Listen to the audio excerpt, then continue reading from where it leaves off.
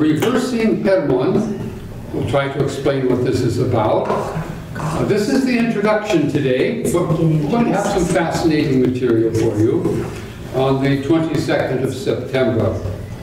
And there is Mount Hermon. It really exists. It's not a mere myth. In the Bashan range, both Hermon and Bashan are mentioned in the scriptures a number of times. Today it's called the Golan Heights. And what country is it in? Uh, Israel, in Lebanon, Syria. Syria. Syria, that's. Captured by Israel. It's on the other side. Subtitled Enoch, the Watchers and the Forgotten Mission of Jesus Christ. Have you forgotten his mission?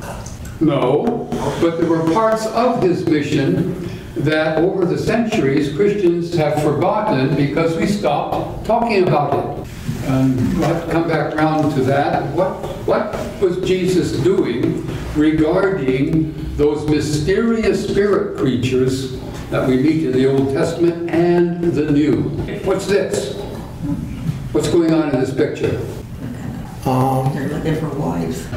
I, I asked E, uh, AI, would you please draw me a picture of the watchers coming down out of the sky looking for human wives? Uh, we have five objectives for this course. I do.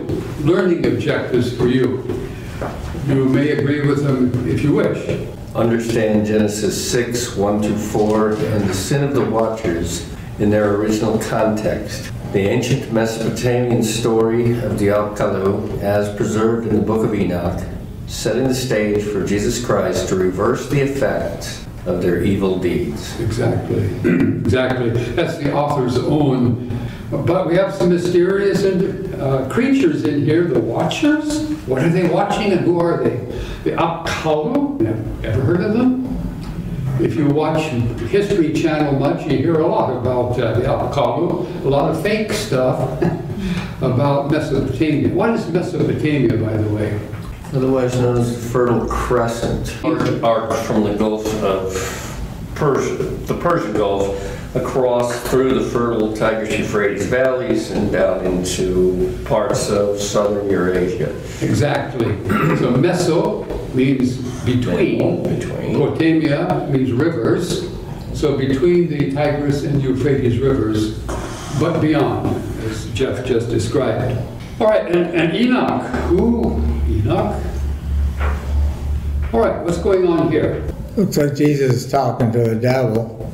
That could be the devil or some other demon, and Jesus is telling him, go away. By the way, why don't you read about demons in the Old Testament? They only show up in the Gospels. That's not quite true. They are mentioned several times in the Old Testament, but not in evangelical language. They're mentioned in Hebrew and biblical language, so we often don't recognize them. So, learning objective number two. Someone else read this aloud. Describe how the theme of reversing the watcher's transgression colors the gospel accounts of Jesus' birth, his genealogy, his temptation, his ministry, his transfiguration, his death, his resurrection, and his reign. Yeah, in other words, pretty much the whole story. and uh, so, yeah, there was a great historical transgression that took place other than the one by human beings. The colors, the, the, a lot of the Gospels. there. All right, now, the Watchers. Interestingly, the world is catching on to this biblical theme of the Watchers. And so there's a new movie being prepared titled The Watchers. You can watch for it coming out. I probably won't look at it. But it does introduce learning objective number three. Someone else read aloud. Explain how the epistles of Peter and Paul allude to the sin of the watchers and present Jesus overturning the disastrous effects of their sin against humanity. Exactly, yeah. Uh, even Paul himself talks about what he calls in Greek the cosmocrators, the cosmocrats, the authorities and the rulers in the air who are wicked. And who were they? Well, we'll find out. And so he says, living as a Christian, part of our privilege and duty is to overturn, overturn those effects. What's going on here? Who do you think this might be? The Antichrist? The Antichrist. Notice the world loves him. He is going to be quite popular across the nations. And therefore, earning objective number four. Demonstrate how the descriptions of the Antichrist, how the end times, day of the Lord, and how the final judgment connect to Genesis 6 and to the Nephilim. Right. So what is the connection? Day of the Lord, that's a technical biblical term for the end of time when God judges the nations. And, uh, and the final judgment of all living beings, what does that have to do with the Nephilim? And then one that I have added, what's going on here? If you ever have a chance to live in the third world and get involved in a Christian church, you find out that the main activity is prayer. Christians will pray sometimes by the hour. It's just astounding.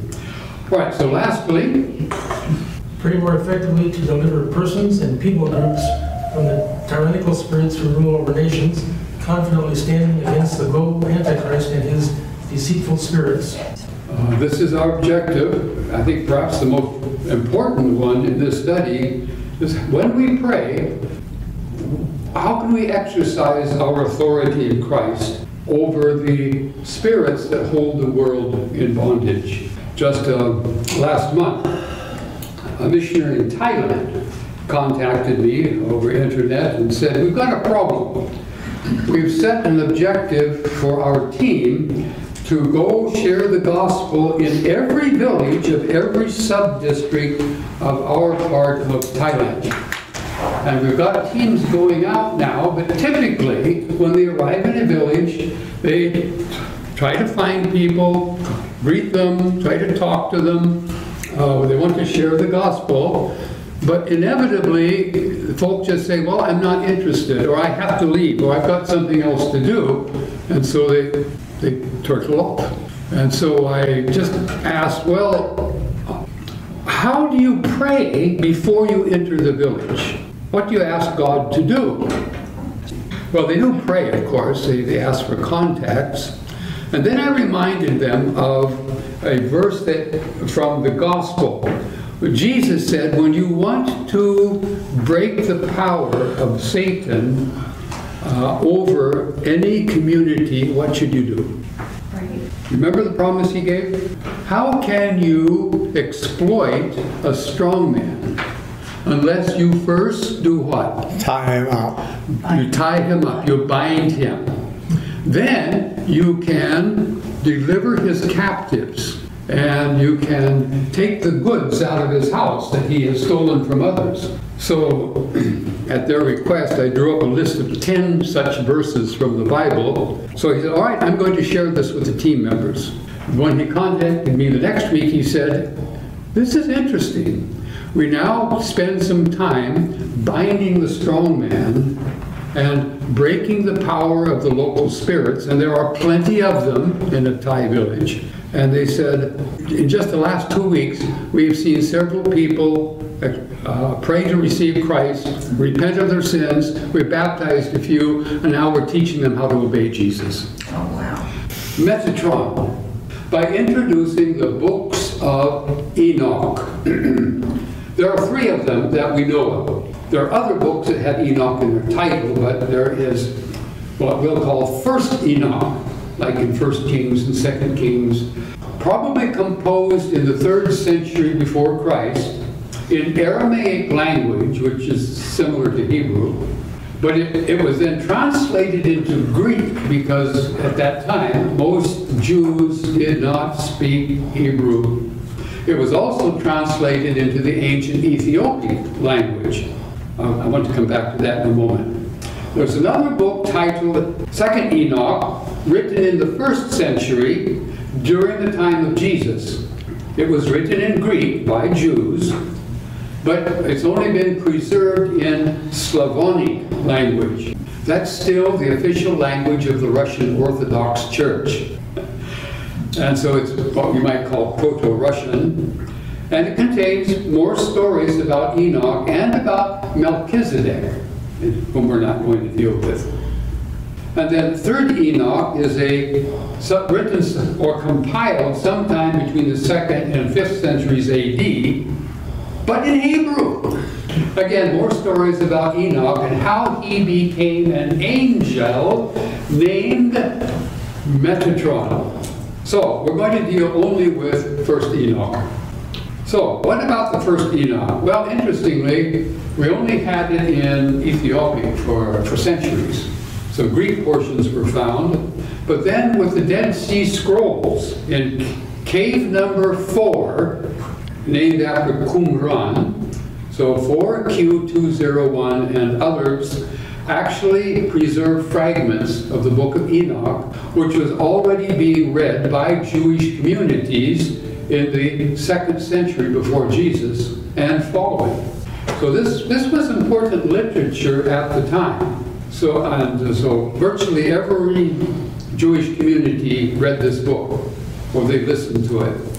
And we also are going to discover that the New Testament writers read the book of Enoch. We know they did because they quote from it. We shall give an example of that. Okay, so a few facts. As we said earlier, written probably the third century before Christ in Aramaic, which is a Semitic language similar to Hebrew. Uh, I've studied three Semitic languages and speak a partly speak a fourth language which has many Semitic grammatical features to it. I can decipher Arabic, but not enough to mention. All right, Second Temple period literature. There's a phrase we want you to learn and remember. The Second Temple period. What are we referring to? Remember Solomon bu- built a temple for Yahweh? Well, what happened to it? Met met Babylon. The Babylonians tore it down. Kind of, kind of had a misfortune. They did.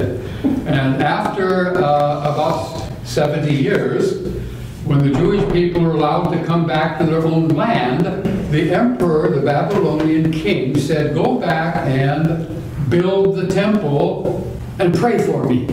Because he, he wanted all of the gods, even the Hebrew God, to pray for him. And so we call, we call that then up until the destruction of Jerusalem, the Second Temple period. What was it normally called by Christians? We had a intertestamental period between the two testaments. As we mentioned, fragments have been found amongst the Dead Sea Scrolls, and those fragments were copied in the second century BC, according to people who study those things. First Enoch, chapters 6 through 16, recount the sin that was committed by the Watchers. Watchers, which lies behind the New Testament. I want you to read chapters 1 through 16, which won't take you long. Because you get, you, you get the whole story that's the background to the New Testament. Not- Not the theology of the New Testament, but the background. All right, speaking of watchers and Nephilim, what do you see in the picture? A satellite. So there is a lot of speculation out there in the world, on the internet, about who drives flying saucers. Who are the creatures in the UFOs? And one of the hypotheses or theories is that those are the Nephilim who survived the flood or who were born after the flood. And they're very clever, just as they were before the flood, and they have very fast uh, sneaking machines to travel around in. Uh, so if they ever invite you for a ride, kiddies, don't go. Uh, I was actually reared in a pagan family that believed in flying saucers. Crazy stuff. All right, so then, who are the watchers? Well, any guesses? They are mentioned in, by name in Daniel chapter 4, both the singular and the plural. this particular section of the book of Daniel is only preserved in Aramaic. Most of the Old Testament is Hebrew, except for certain portions. And in the first century, if you were Jewish, you already read Aramaic, whether you had learned Hebrew or not.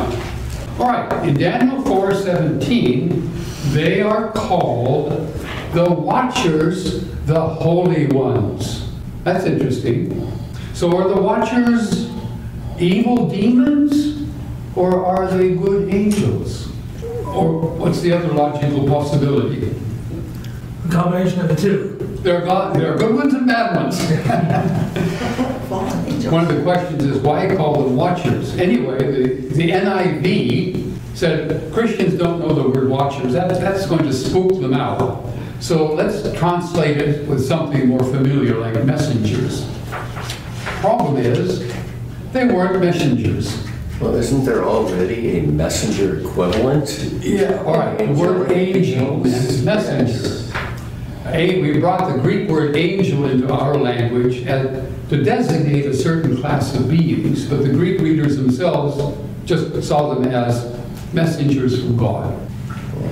So not all spirit beings are messengers, only those that carry messages are angels. And there are other kinds. Did they wear the little hat in the Western Union vest as well? All right, so uh, in the book of Daniel, the watchers are good creatures. We'll call them angels here for convenience, though they weren't. They are members of God's entourage, or as many say, members of the divine council. Because you get pictures in different parts of the Bible of God meeting with groups of spirit beings. Can you think of some examples? Where did that happen? Psalm 82. Job, Psalm 82, Job chapters 1 and 2, um, and the story of the, uh, the prophet Micah who told the story of Yahweh meeting with the angels to plan the death of Ahab. And there are other such uh, passages in the Bible. And reading this book, we shall encounter those. So, but in the book of Enoch, though we only deal with the watchers who sinned, and so we'll call them bad angels. And these are, we find them in the epistles of Jude and Peter.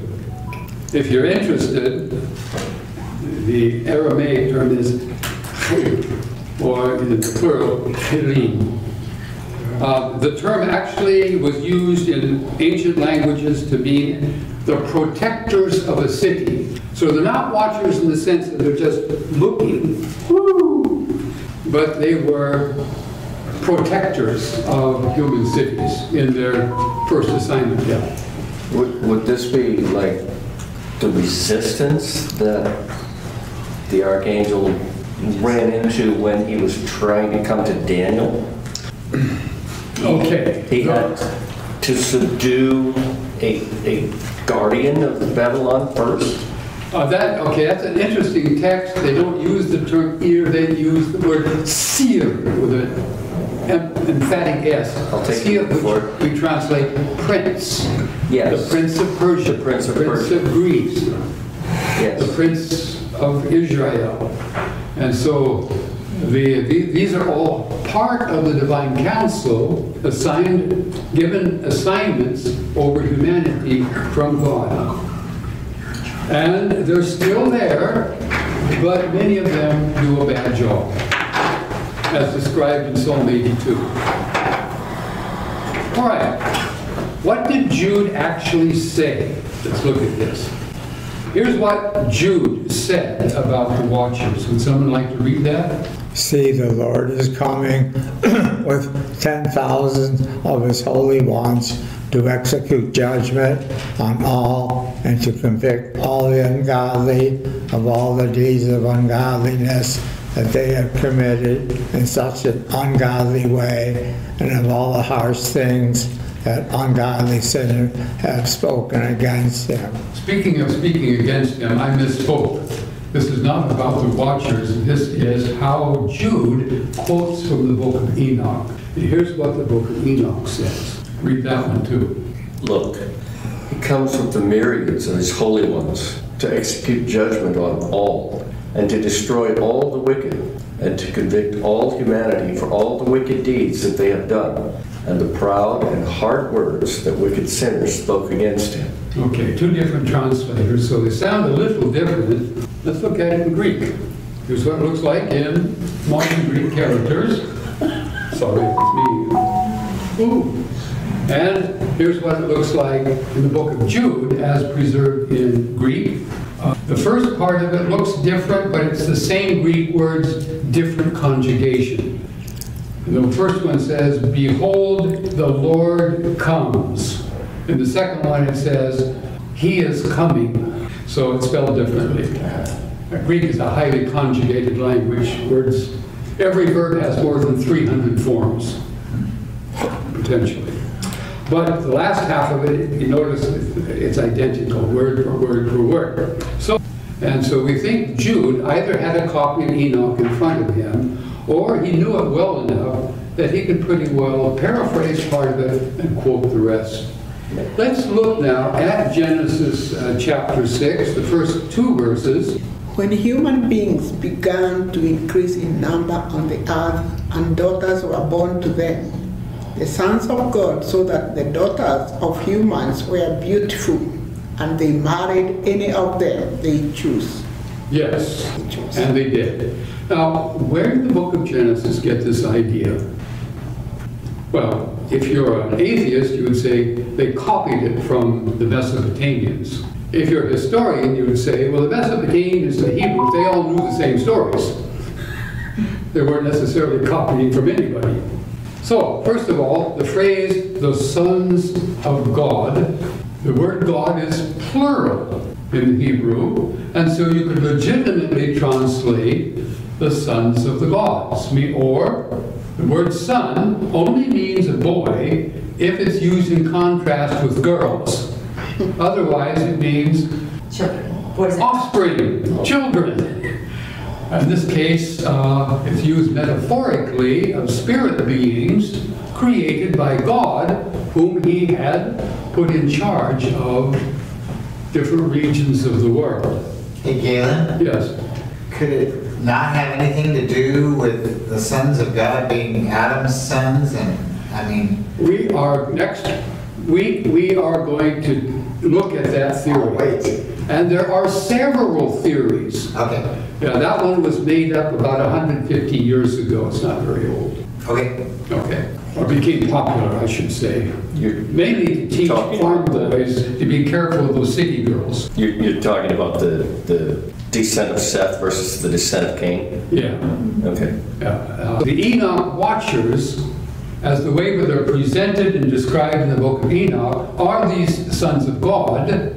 But since he was writing in Aramaic, he didn't use the Hebrew phrase. He used the more popular Aramaic term that was also used by the pagans to talk about those same creatures, whatever they were.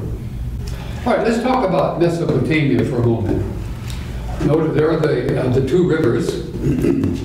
so these ancient empires, Assyria, Babylonia, and Sumer, and these ancient cities, Nineveh, Assur, etc.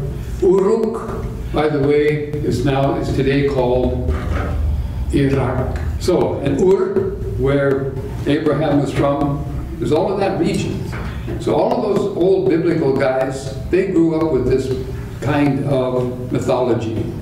This story of the sons of God and their daughters of men was important during the Second Temple period. All the Jews knew it, they all told the story. All right, and the other nations had their own versions of the same divine rebellion. They all saw it as an angelic or spirit rebellion against the Creator God. Now, if you go to a secular university and your professor is kind of elderly and hasn't read a, cracked a book open in decades because he gives the same lecture every term, he will tell your, your grandchildren the Hebrews were stupid. They were Bedouins, they didn't know how to read or write, so they couldn't make up their own stories. So they borrowed all of their stories from the more intelligent, literate pagans. And Noah, they will tell you, wasn't, had a, he had an earlier name. His name was, what do the atheists say? Gilgamesh. Yeah. You've heard that name.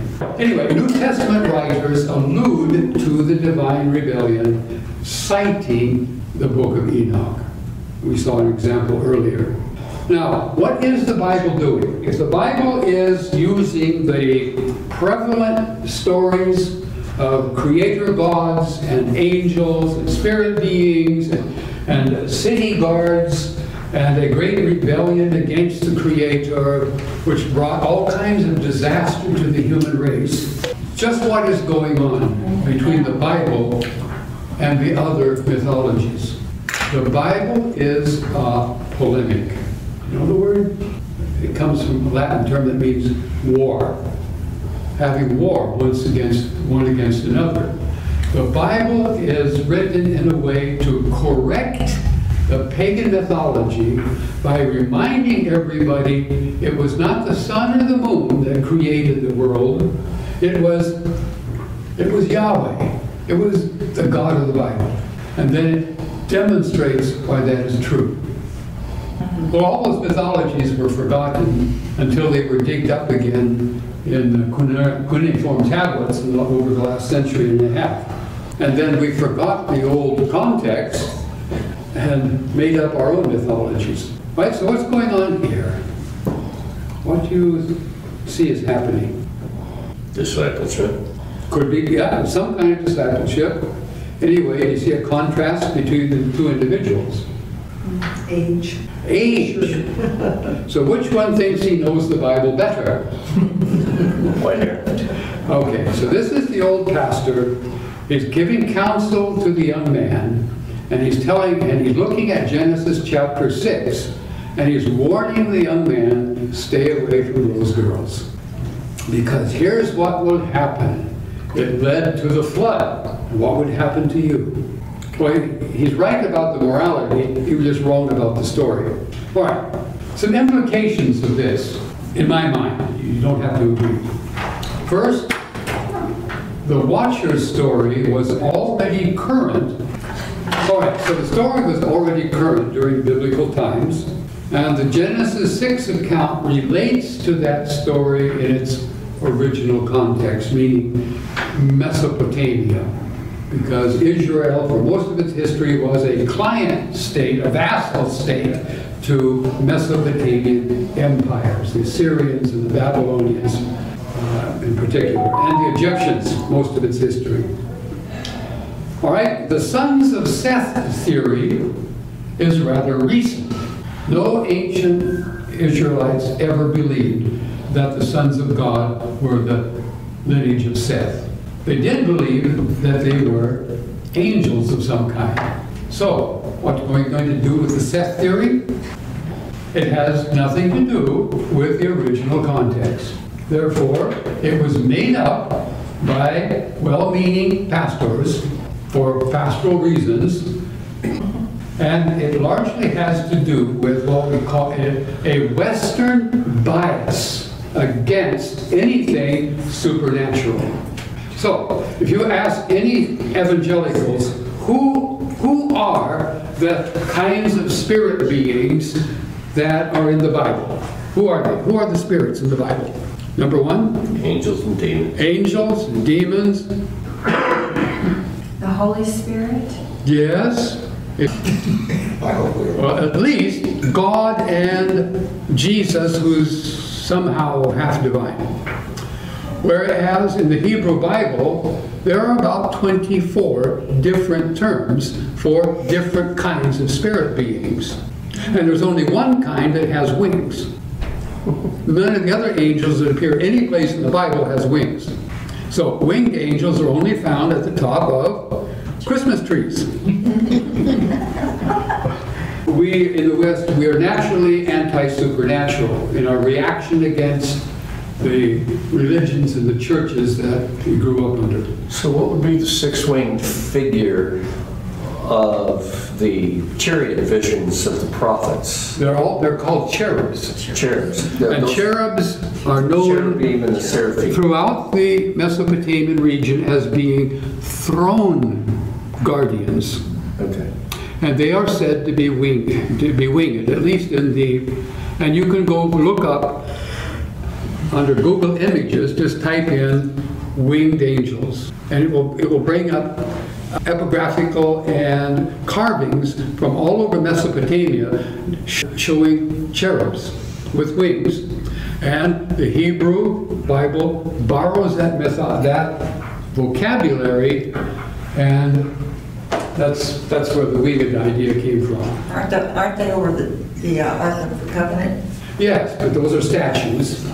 Yeah, with wings, because they are guarding God's throne over the Ark of the Covenant. Like that, the Watcher's story partly explains the sinful human condition. All right, let me ask you, you're evangelical Christians, you know the Bible, you've been well taught, you've heard a thousand sermons or more. Mm-hmm. How do we explain the human condition? That we are so sin prone and violent and warlike and selfish? What happened? What happened to our race? We were cursed from the fall. We were cursed from the fall. Yes, exactly. It's the results of the, the fall when Adam and Eve disobeyed God. Paul kind of agreed with that. Yeah, he did. Paul also agreed with the other explanations. So, what happened before Adam and Eve's sin that had disastrous results for the human race? Third of the angels under Lucifer. Well, the fall, from heaven. the fall of the devil, Satan. Uh, in the Genesis, they use a, got it? Mesopotamian title for the big demon, the chief demon. They called him the, in Hebrew, the Nakash. Nakash comes from a root that means shiny. There's another word for serpent in Hebrew, but they sometimes use the term shiny for serpents that had shiny skin. And somehow our Bible translators decided to call him uh, a serpent. And so an atheist will tell you, oh, you believe in the sky fairy and talking snakes, right? Well, they're stupid.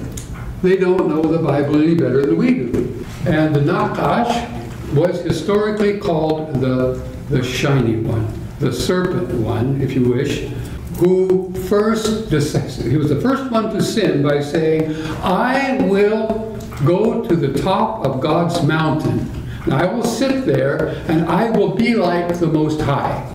But he then decided, I need these humans whom God has put in charge of the earth, I'm going to have to suborn them so I can remain chief of the earth. And so he lied, we believed it.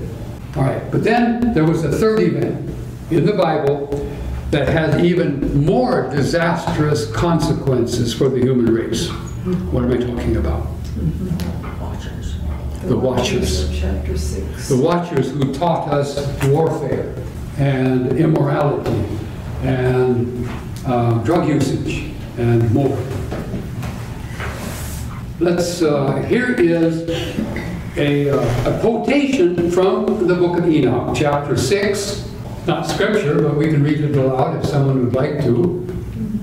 I will. All right? That they all swore together and bound one another with a curse, and they were all, all of them, 200 who descended in the days of Jared onto the peak of Mount Hermon. And they called the mountain Hermon because they swore and bound one another with a curse on it. Yes. All right. Whom are we talking about here? Well, the previous verse said is the watchers. Uh, according to this text, there were 200 of them that rebelled. So the account says they came down on Mount Hermon. Now, interestingly, this is from a Semitic root, cherem. And in the language we spoke, whenever we wanted to say that something was cursed or forbidden or we don't want it to happen, we would just simply say haram. Mount Hermon is the mount of cursing. And in the sense that if we don't agree with you. We don't go down there and take wives along with you, sir. May we be cursed by Yahweh. Apparently Jared was the father of Enoch, Okay, thank you. according to Genesis 5:18 in genealogy. I'm not going to argue against that. No, no, I, I just, I, I, I- What's happening in the story, or in the, in the picture? In the context of this lesson, and according to the author who drew this, we have here a watcher in human form who is showing magic to whom? Beautiful. A daughter, a beautiful daughter of Adam. And she, does she look like she's interested? Mm-hmm. Oh, wow. A quick overview now of where we're going with this. First, the Watchers infected the human race. More detail. They taught war, seduction, and the use of all kinds of trees and roots and clippings to make medic- medicines and drugs. The, the poor ladies, they get blamed for so much in the Bible. But what did God do to those 200? Remember what uh, Peter said? They, God damned them. They are held under bondage in a dark place underneath the earth, waiting the judgment. And more detail about that in the book of Enoch. Then the Nephilim, remember with the women, they bore children, but what happened to those children in the flood? They they all drowned, they died. What happened to their souls? According to the book of Enoch, the souls did not descend to the underworld. They remained in the world as the demon spirits that are still troubling humanity to this day. They used to be half God, half human. Does that sound bizarre? Yes. it sounds very Greek. It sounds logical. Okay. So then, Jesus came to restore Eden, that is the original state of the earth, on earth by redeeming humankind from its sin and from under demonic authority, thereby reversing Hermon, bringing Mount Hermon and the spirits upon it back under the rule of Yahweh through the Lord Jesus Christ. But everyone's asking, is the book of Enoch scripture? To answer this, we have to be familiar with a couple of words. One word is canon, one N. This is not a big gun. A canon is a collection of writings that any group, in this case the church, accepts as authoritative. We believe that writing. Some examples of canonic writings. The Gospels. The Gospels, the epistles, the book of Those Revelation. 66 Right, so for the Christian collection. church of today. And at different points in Christian history, the canon had other books in it, which were later removed because of the second concept here, inspired. Right? An inspired book then is one that is accurate and free of error because the Holy Spirit guided its authors. Now, this is a biblical concept, very important in Christian theology. Some books are inspired, other religious books might be helpful and useful, but they're not inspired. They're not uh, free of error. So, when we can take inspired books and put those in our canon, those books we will call Scripture. Scripture. Scripture is a canon of inspired writings. And so, here's my contention. The book of Enoch is neither canonical, nor is it inspired. But it is concerned, concerned, we do consider it worthy to be read because, why? Why should we bother reading it? Context. Scriptural context. Historical Scriptural context, and because the Bible writers, New Testament writers, they read it, and they used its language, and many of its concepts. Well, there's an exception to what I just said, and that is the church in Ethiopia. I worked four years in Ethiopia, and I was amazed to find an ancient Christian church in Africa that has been literate for millennia, whereas most of the tribes did not need writing because they were so clever they could remember everything. Not a question of intelligence, but rather of culture. The Church of Ethiopia believes that the book of Enoch is both cano- is canonical scripture, and they have preserved it in their ancient language called Ge'ez, uh, down to this day. And the translations that we now have are made from Ethiopic compared with Greek copies that were made uh, late, even later. Have you seen these pictures on the, on the internet? Oh, it's just to prove that there were giants. Lots of photographs of very big skeletons. What's the problem though with this kind of a photograph? Too easy to Photoshop. Photoshop it, but more recently, just go open any AI engine and say, draw me a picture of an anthropologist examining a big skull. And it will draw that picture. That's what they did here. All right, the main characters then of this story are the sons of God, members of God's first entourage, his divine council, the watchers, just the Aramaic term for the same thing. Nephilim are the giant offspring of the sons of God, uh, when the sons of God mated with human women. And we're going to find that there, uh, learn more about the Apkallu in chapter 3, who are the Mesopotamian counterparts of the same guys. And in that context, we will learn a little bit about Noah, who was fully human. Whereas the Mesopotamian story of Gilgamesh, he is only part human and two-thirds divine. So he- the Hebrews made a mistake if they really copied from Gilgamesh. Okay, um, we'll end here with my hypothesis. I'm going to suggest that God created in the beginning corporal, earthly, reproducing creatures, some of whom are called watchers. Now the books say they came down, Enoch says they came down from heaven, but in the Hebrew concept of heaven, where does heaven start? Or if you want to translate, where does the sky start? Is it up there in the blue? Well, in the Hebrew Bible, heaven starts at earth, the, the, the surface of the earth, and goes up. And anything that dwelt on earth but had access to God was said to be a, a heavenly being. And therefore, these were reproducing creatures in Eden.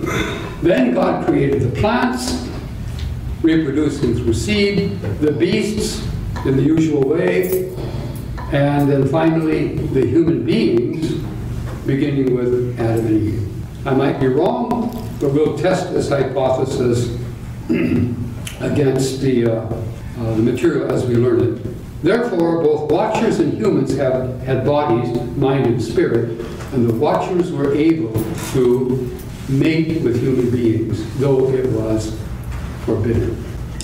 Okay, any question before we break up? Yes? Are you going to offer a syllabus? Because that's a lot of information. It's, okay, it's, it's on that website. Were you here when I demonstrated that? You can go there, download the document, and get all of this stuff, plus more. Where do angels come into play that we think of angels? They're not watchers, or they are watchers? Uh, Well, there probably are still some good watchers there. But, um... it- Well, like Gabriel and Okay. Michael and that kind of. On mine, there's a, go to the site, there's a link to our course on titled The Supernatural Realm, in which you deal with all the kinds of angels.